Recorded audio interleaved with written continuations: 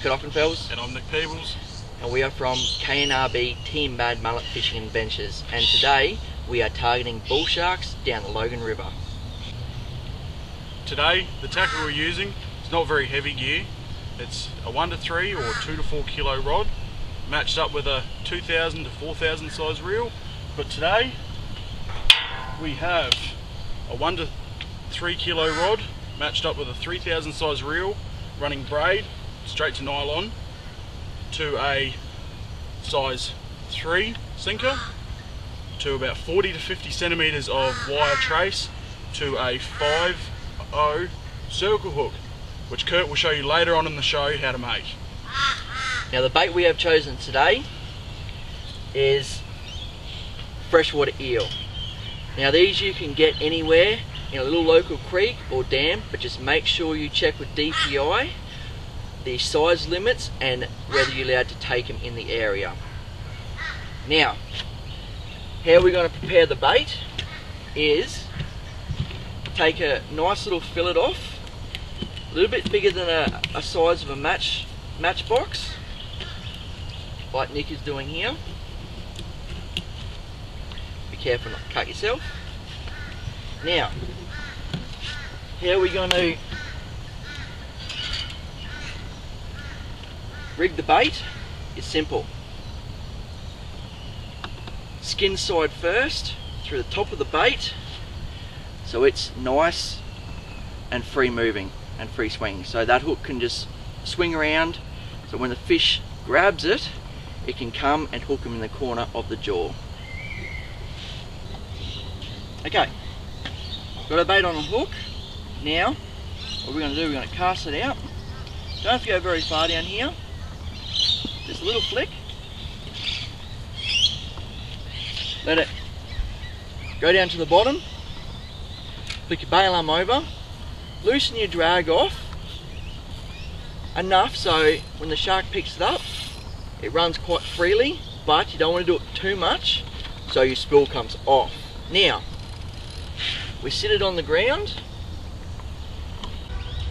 Now, I've got a fairly good size sinker and I've just flattened the end of it so it sits flush on the concrete. Now, what we're going to do, pull our line out a bit, put the sinker on the concrete and let your line just butt up against the, the, the sinker. Now, the reason why we do this is purely if there's a lot of current, your line's just going to get continually pulled out. Now, when a shark picks up the bait, it'll automatically flick out from underneath the sinker and the shark will start taking line. Now, what you do from here on in, pick your rod up, flick your bail arm over. Now, you can just take line very freely without feeling a thing. So, lift your rod a little bit, do your drag up a little bit. Make sure you don't get your, your fingers caught in the line, otherwise it can pull tight and hurt you. So, keep tightening up the drag. You test it, roll your, your spool around like that to get to the right tautness. Flick your bail arm back over, wind, and set the hook. So now, as you can see, we have all the rods set up. All we have to do now is wait until the bully comes along and picks up one of these baits.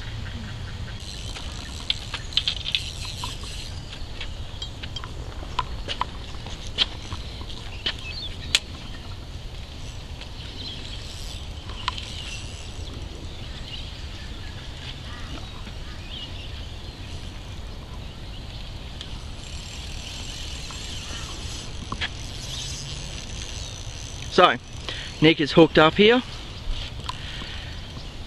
So let's see if we can land ourselves the first shark for the evening. And this little outfit I'm using, it's only a little light rod, one to two kilo, with a 1000 size reel, six pound braid, to the same setup we were using before, about 40 to 50 centimeters of nylon coated wire to about a 5.0 circle hook. And when you're using this light gear too, there's no need to rush. Just take your time, as Kurt said. keep your drag nice and loose, just enough so you can gain your line. And it should be a good fight. Later on in the show, we'll also show you how to fillet and gut a shark ready for the table because I tell you what, these things eat particularly well. There we go, sinker come up, brief second. This is the time where you usually lose the fish purely because you rush. Just let him do what he wants, you don't have to rush it and when you're going to net it, just place the net in the water and let the shark go back into the net. You start swiping at it, that's when you lose your fish. Now, it should be any second now. Here comes the sinker and the trace. Wait till you start to see that sinker. But as you can see here, he's sticking into the current and using it to his advantage. Just pointing his nose down that little bit and keeping himself down in the water column. They can be quite tricky sometimes to pull up, but as Kurt said, just take your time, otherwise So, you'll lose it. Trace is up. And he's in. Now, before you go doing anything else with this fish, before you take it off the, the line, stand on his head. Now, turn away if you're squeamish. Cut his tail off. And this will bleed him out. As you can see, that blood is running out nice and freely. You go cutting off the head, he'll die too quickly, and you'll get an ammonia taste in, in him. Now, as you can see, that circle hook has done exactly what we wanted to do, right in the corner of the mouth. It's not down in his gut, so if you wanted to release him, simple as pulling the hook out and throwing him back in the water. And another tip guys, just be aware when you're bleeding these guys out, make sure you don't get any of the, the blood or the offal in the water because with these smaller bullies in these river systems here, sometimes if their blood or guts get in the water and they can smell themselves, they'll get shut down quite quickly. It all depends on the mood, but as we've found, it can happen. Gonna run again here. This time it's on the eight pound on a one to three kilo drop shot and uh, 2,500 Er.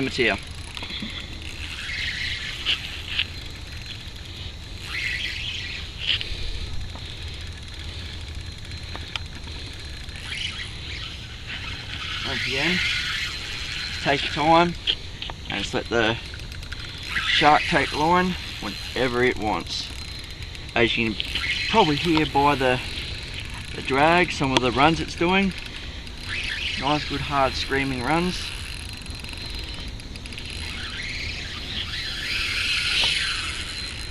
Nice run there. Now, unfortunately, we're actually both hooked up at the moment. So, going a bit more interesting. Nick's hooked up and I'm hooked up. So, we'll try and do our best. Just had a nice little jump. I've just got sinker, so I'll be back with you in a couple secs.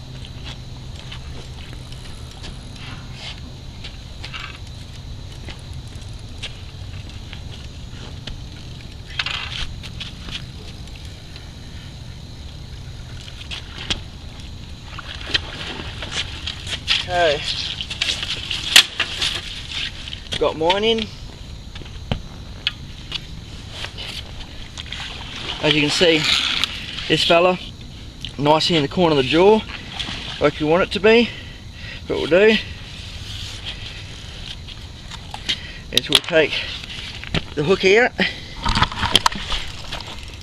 and put him back in the water. Now, Got 10 to next shark. Another bully. In the net. Good old double hook up. Now, we're going to keep this one, so we got one each. as you can see here, this is the one of the two that we just got.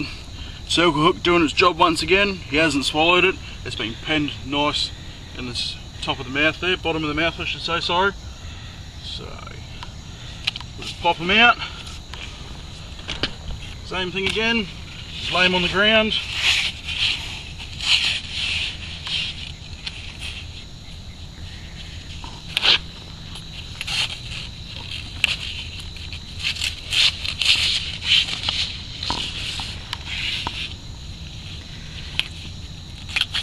cut the tail off and let them bleed out. Okay, we got down here about 4.30 this afternoon. It's now quarter past seven, so we've been down here nearly three hours.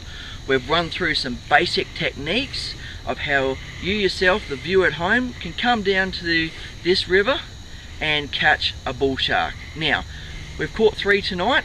We released one and kept two for a feed. Now we're going to go home and I'm going to show you how to fillet and prepare this shark for the table. Okay, now we've come to the part of the show where I show you, the viewer at home, how to fillet a shark. First step, take off the dorsal fin, like that. Take off pectoral fins,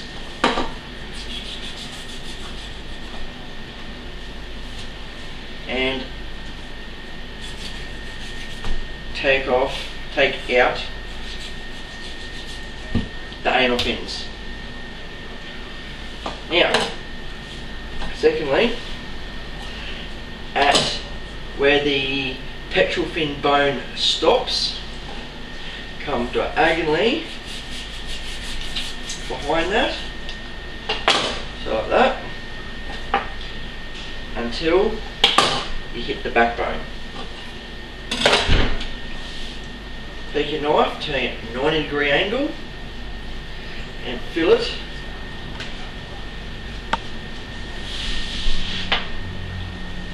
along the top of the backbone.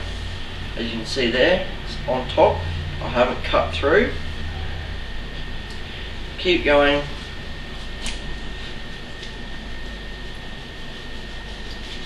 until you come out the end. Okay. You've come through the base of the tail.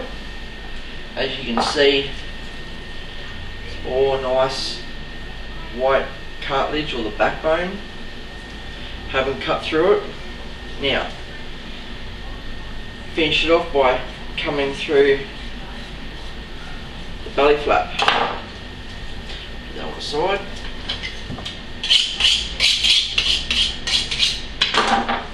Next step is to fillet the flesh off the skin. I just I, I like to nick along this line here just to square it up like that. So start from about an inch back on the tail just down to the skin like so then like how you did the fillet off the shark turn your knife at 90 degrees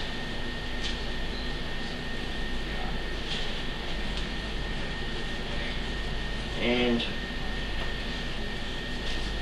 run.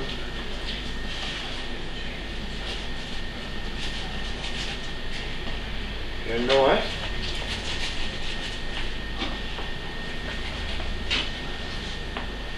along the skin back. Now, that's what you should be left with. A nice skinless fillet. Now what we do from here is a l- sometimes you can be left with just a little fine shaving of cartilage from where you've taken off the backbone. Simply, just get your knife underneath it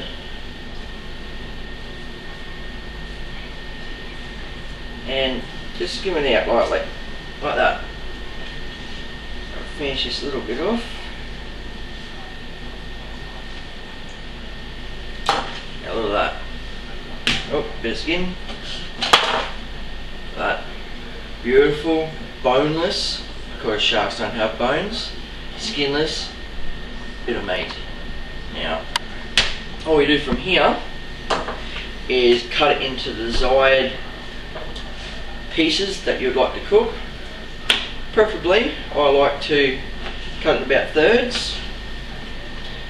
And each one of these little steaks, I like to cut in half. So you end up with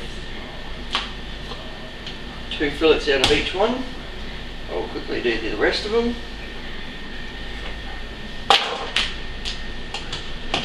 Oh, that one's alright. So, there you have it. Five nice bits of flake ready for cooking. Hello, and my name's Ashley and welcome to Cook Your Catch. Today we're going to be cooking some beautiful flake fillets.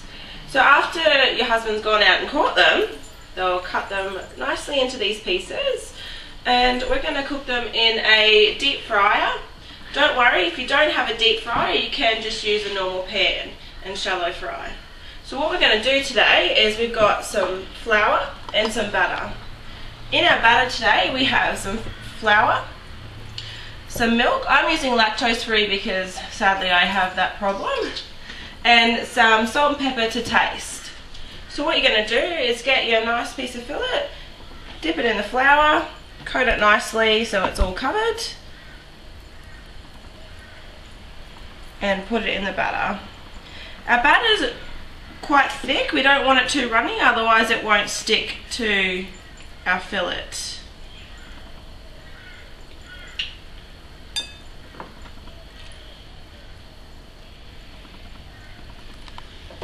So we'll open our deep fryer.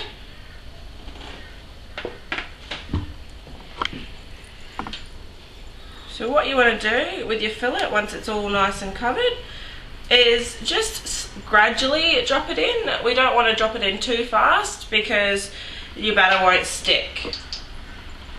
So we'll just dip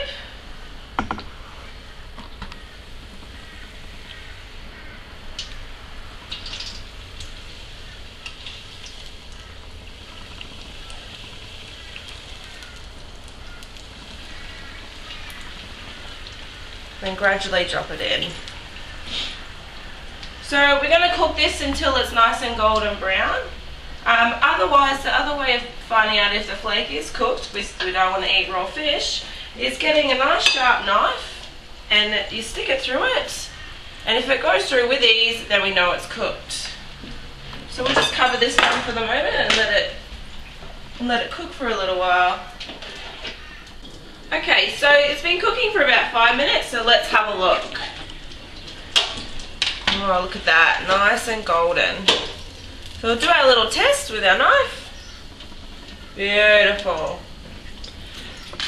So we just want to take this out. Here I've laid out some paper towel just to get that excess oil off. Pop it on there. Just give it a nice dab.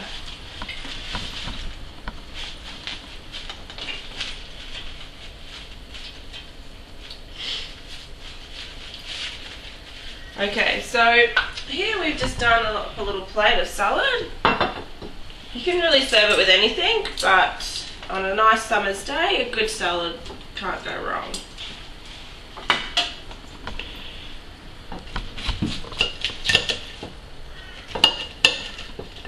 Oh, look at that. Cooked to perfection. Now, the great thing about flake is that there's no little bones in it, so with people with kids, you don't need to worry about that. Um, for anyone else, you don't need, you don't have to deep fry. You can bake it, grill it, cook it any way you want.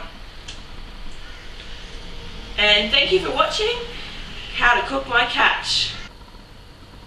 Okay, welcome to Kurt's Tackle Tips. Now, like I was saying earlier, we're here to make shark trace. Now what you need is what I like using is 40 pound nylon coated, either clear or black, seven strand trace, pair of side cutters,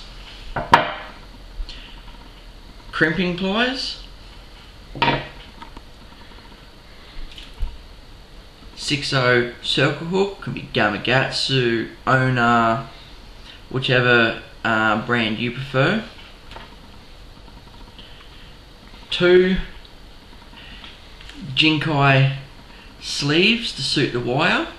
Now I prefer Jinkai over the ones you get in the packet purely because these are a low grade copper and these are quite a, a good thickness in alloy and it bites down the wire a lot more firmer. And just your 50 pound, pound average black crane swivel. Now you can use any swivel but I prefer these. So, I like running about half a metre of wire.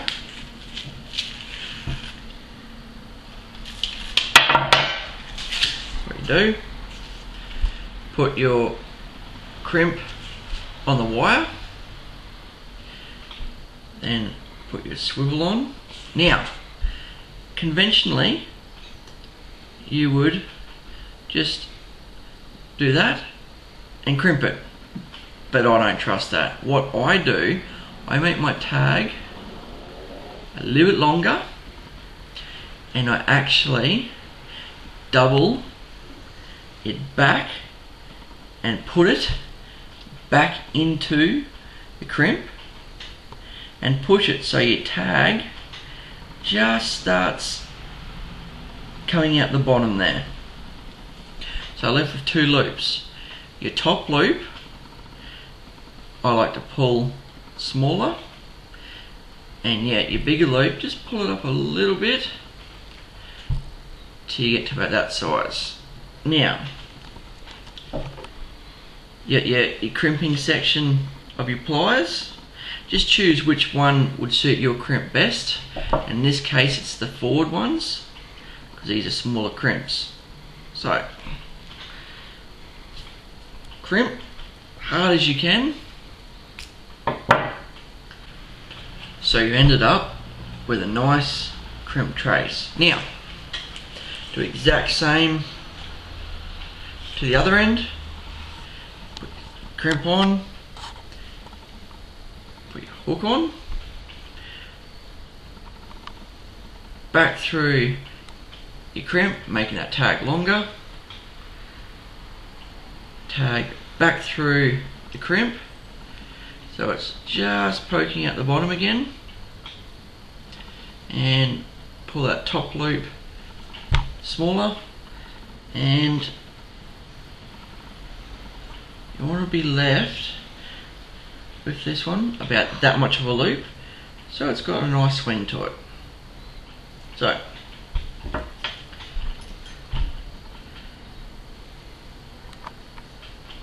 crimp it again like the first one so you left the crimp trace now what you can do is I actually sometimes put just a little bit of heat shrink on the shank of the hook just to cut down a little bit of electrolysis. You can also do that with your crimps as well, just to cut down the electrolysis because sharks can pick up currents in your steel quite easily and it can put them off from times from time to time. So, now you know how to make just a basic wire trace for sharks. You can go to your local tackle store or BCF and buy your pre-made traces, but I prefer to make your own traces so if they do pull, break, um, it's your own fault and not the manufacturer's. Thanks for watching.